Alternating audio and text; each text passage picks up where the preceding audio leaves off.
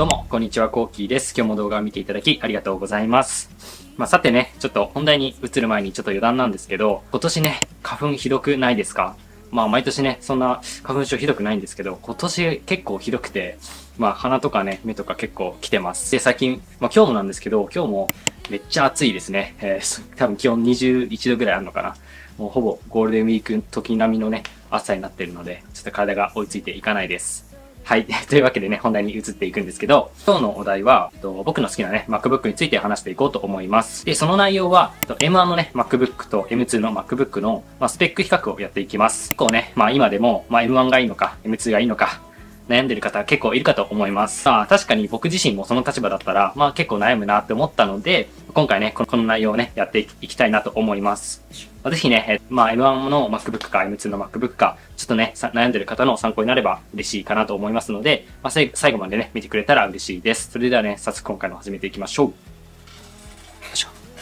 はい。というわけでね、早速やっていこうと思うんですけど、まずはね、今回使用した MacBook をね、紹介していきたいなと思います。まあ、ちょっとね、今手元には M2 しかないんですけど、ちゃんと比較をやったので、そこのね、えっ、と、スペックっていうのを紹介していきます。まず、M1 のね、MacBook の方が、CPU が 8GB、で、GPU が7コア、で、メモリがね、えっ、と、8GB のものを使用します。で、M2 のね、MacBook Air は、まあ、GPU8GB、CPU が10コア、で、えメモリが 8GB のものを使用します。ちょっとね、GPU にちょっと差があるんですけど、まあ、そこまで、えっ、と、問題ないかなと思うので、まあ、やっていこうかなと思います。で、えっ、と、今回の検証も、まあちょっとね、動画編集っていうところにフォーカスを当てて、えっ、と、話していきますので、まあ、ぜひね、参考にしてもらえたら嬉しいです。はい、それではね、早速、検証の方に移っていきたいなと思います。で、一つ目の検証は、まあ、動画編集のね、レスポンスについて検証していきます。まずはね、えっ、と、僕のファイナルカットの動画編集画面をご覧ください。で、まずはね、M1 の MacBook の方から行くんですけど、まあ、動画素材っていうのは 4K60p のものを使っています。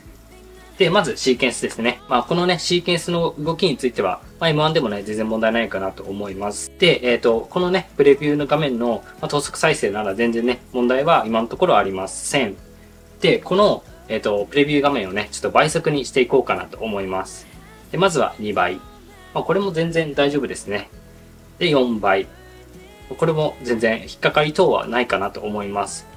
で、まあ、あの、テキストをね、入力すると、この辺からね、ちょっとね、重くなることもあるんですけど、まあ、今のところは大丈夫です。で、8倍にしてみます。で、8倍にしてみると、まあちょっと固まりながらも再生っていう感じですかね。まああの、滑らかとはちょっと言えない感じです。で、ここに、まあ、テキストだったりトランジションをね、どんどん入れていくと、まあ、結構重くなると思うので、まあ、ちょっと8倍で動画編集をする方ってなかなかいないと思うんですけど、まあ、8倍にしてみると結構ね、片付きますよっていう結果でした。で、続いて M2 のね、MacBook Air の方に移っていきます。まあ、素材はね、M1 と同じものを使用しております。で、これもシーケンスの動きは全く問題なく、まあ、格付きなのでね、一切ありません。で、えっと、M1 とね、同じように倍速再生をね、していくんですけど、で2倍、まあ、4倍と再生しても全然ね、問題なくプレビュー再生ができております。で、8倍でもね、こんな感じでぬるぬる動きますね。まあ、さすが M2 という感じで、まあ、ここでね、M1 との差が出てくるかなと思います。はい、続いてね、2つ目の検証に移っていきます。で、2つ目のね、検証は、レンダリングの速度についてね、やっていきます。で、まずは M1 からやっていくんですけど、もうこれがね、キャッシュがない状態で全てやっていきます。で、トランスコードをしていくんですが、これを、まあ、編集用に最適化されたファイルに変換していきたいなと思うんですけど、まあ、これにね、かかった時間というものを、まあ、M1 と M2 で、えっ、と、比較していこうかなと思っております。で、これもね、えっ、と、結果が出ていて、これは 正直圧倒的な差が出てしまいました。で、M1 のね、MacBook Air の方が、ま、約17分35秒かかりました。で、M2 のね、MacBook Air が約6分22秒。これすごくないですか？さすがね、メディアエンジンを搭載している M2 だなっていうあの感じを受けたんですけど、まあ、約60%ぐらいかな、高速化できていました。最後ね、えっと、3つ目は、まあ、動画のね、書き出し速度っていうのを測っていこうかなと思います。検証結果が出ているんですけど、まあ、検証したのが、フル HD のね、10分動画と、あと 4K60p のね、5分の動画でやってみました。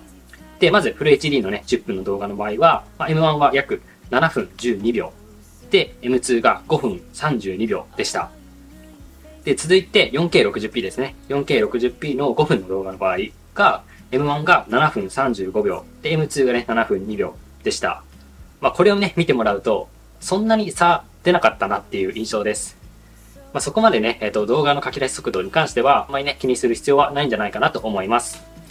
はい、いかがでしたでしょうか？まあ、今回はね、えっと、M1MacBook Air と M2 のね、MacBook Air の、ま、動画編集っていうところにフォーカスを当てて、スペック比較っていうのをやっていきました。まあ、レンダリングの速度以外はそんなに差が出なかったんですけど、まあ、やっぱりレンダリングの速度ね、えっと、見てもらうと圧倒的にね、M2 の方が、やっぱスペックはいいなと感じました。やっぱりね、あの、先ほどから言ってるように M2 からはね、えっと、メディアエンジンというものが搭載されているので、その恩恵がね、やっぱりこういう動画編集の面であったり、まあ、あと写真編集とかの面でですね、えっと、書き出し速度とか、面でやっぱいろいろ恩恵を受けてくるくるんじゃないかなと、個人的にはね、今思っております。で、えっと、最後にね、えっと、ブレンダーっていうアプリで、まあ、書き出し速度も試してみたんですけど、まあ、ブレンダーっていうアプリは、ちょっと 3D のね、えっと、画像とか映像という編集をできるアプリなんですけど、まあ、それで、えっと、書き出してみたんですが、まあ、それほど差は出ませんでした。まあ、先ほどね、紹介した動画編集、まあ、動画の書き出し速度とほぼほぼ同じぐらいの差でしたね。で、まあ、これからね、本格的に動画編集だったり、まあ、写真編集だったり、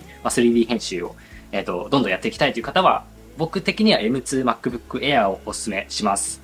で、まだね、えっと、そこまで本格的にはやるつもりはないけど、まあ、動画編集とか写真編集とかやってみたいという方は、全然ね、M1MacBook でも十分だと思います。まあ、少しでもね、この M1 と M2 のね、えっ、ー、と、僕を購入する際の、まあ、判断材料になれば嬉しいなと思います。で、あとですね、えっと、M3 のね、MacBook Air のリーク情報っていうのが、まあ、僕のところにも、まあ、結構ね、流れてきておりまして、まあ、それについては、まあ、次回以降、やっていこうかなと思いますので、まあ、楽しみにしてもらえたら嬉しいです。はい。というわけでね、こんな感じで今回もやっていきました。まあ、この動画ね、公共オリジナリーでは、普段は Apple 情報を中心にお届けしているんですけど、まあ、アプリの紹介だったり、物の紹介っていうものもやっておりますので、まあ、少しでも参考になりましたら、ぜひ高評価、チャンネル登録の方よろしくお願いいたします。